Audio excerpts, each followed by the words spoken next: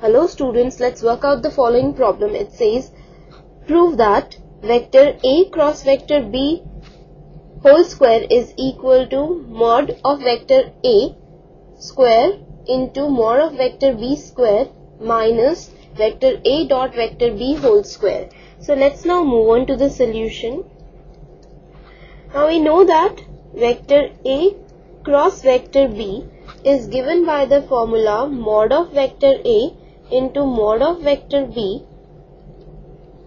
into sine theta n cap where n is the unit vector perpendicular to both vector A and vector B. Now we have to find vector A cross vector B whole square. So we have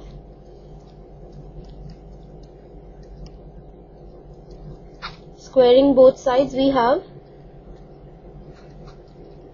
mod of vector A square mod of vector B square sine square theta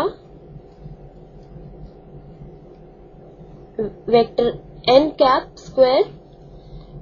So this is mod of vector A square mod of vector B square.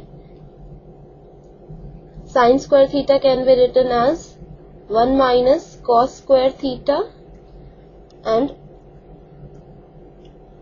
n cap square is n dot n.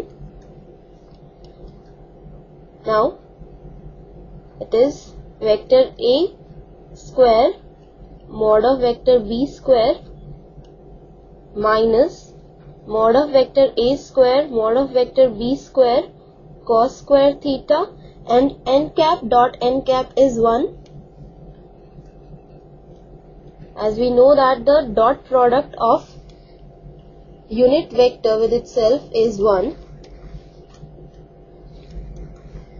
now again this is equal to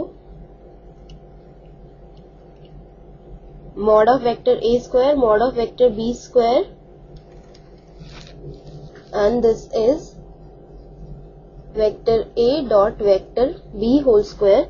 As we know that a dot vector b is given by the formula vector a mod of vector a into mod of vector b into cos theta. So this is the square of vector a dot vector b whole square and this is what we had to prove.